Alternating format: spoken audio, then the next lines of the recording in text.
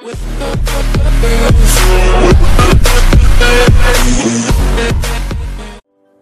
pernah kan ngerasain pengen banget traveling bersama teman-teman Tapi udah ngajakin, tapi taunya nggak jadi Udah nentuin hari, udah nentuin tanggal.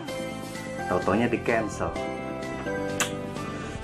Di video kali ini saya akan ngasih beberapa tips bagaimana merealisasikan traveling bersama teman-teman Yang pertama pastinya kalian harus punya uang Ya seenggak-enggaknya kalian punya tabungan lah buat bisa beli tiket pesawat atau bisa beli tiket kereta ataupun akomodasi yang lainnya ya. Yang kedua adalah blok tanggal atau hari kalian ya. Jadi uh, sebelum kalian bersama teman-teman ya merealisasikan untuk traveling bareng, jadi uh, kalian harus mencari hari ya beberapa bulan sebelumnya ya agar bisa mendapatkan apa tiket tiket akomodasi yang murah dan juga homestay ataupun hotel-hotel yang lainnya ya. Jadi blok hari ya blok tanggalnya ya kalau bisa satu bulan satu bulan sebelum hari pemberangkatan.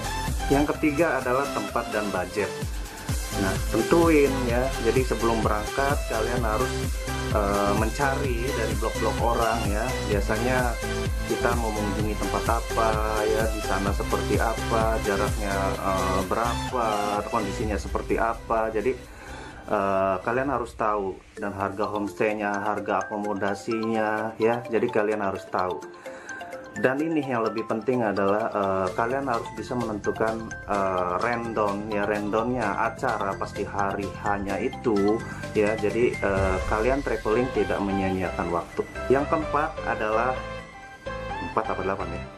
Yang keempat adalah kalian harus punya temen yang gila ya. Jadi uh, maksudnya gini uh, kalian harus punya temen yang hobi traveling ataupun gila dengan jalan-jalan ya. Uh, ya walaupun memang sedikit sedikit bikin pusing juga ya punya teman seperti ini. Karena biasanya kita udah tentuin hari udah tentuin tanggal sebelumnya tapi tiba-tiba ingin cepat-cepat. Sebenarnya kalian uh, berguna ya punya teman seperti ini. Jadi 99% ya terrealisasikan lah ya untuk traveling karena biasanya teman seperti ini adalah uh, memaksakan kehendak ya. Jadi biasanya ya tidak uh, memikirkan uang lagi tidak memikirkan apa uh, hari ini hari apa ya mau jalannya seperti apa gitu kan. Jadi memang benar-benar tega ya. Maksudnya kita nggak tahu gitu. Kita nggak tahu kita nggak punya uang lah ataupun hari ini hari sibuk kerja kah ataupun bagaimana ya. Jadi kalian harus punya teman seperti itu. Ya kalaupun nggak punya apa teman seperti itu kalianlah yang harus jadi teman seperti itu. Jadi biasanya uh, keempat tips tadi itu benar-benar terrealisasi 99% ya. Jadi mau nggak mau kita udah beli tiket pesawat atau beli tiket kereta api ataupun akomodasi yang lainnya dan udah booking homestay ataupun hotel juga di sana ya.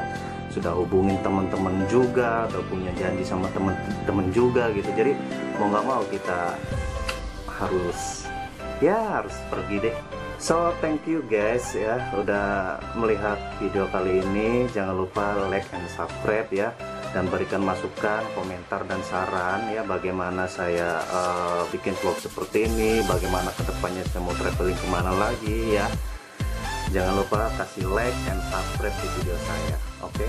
ditunggu video yang ketiga adalah budget dan tempat. Jadi kalian harus pintar-pintar mencari ya, mencari blog-blog orang atau yang ketiga adalah tempat dan budget. Jadi kalian harus eh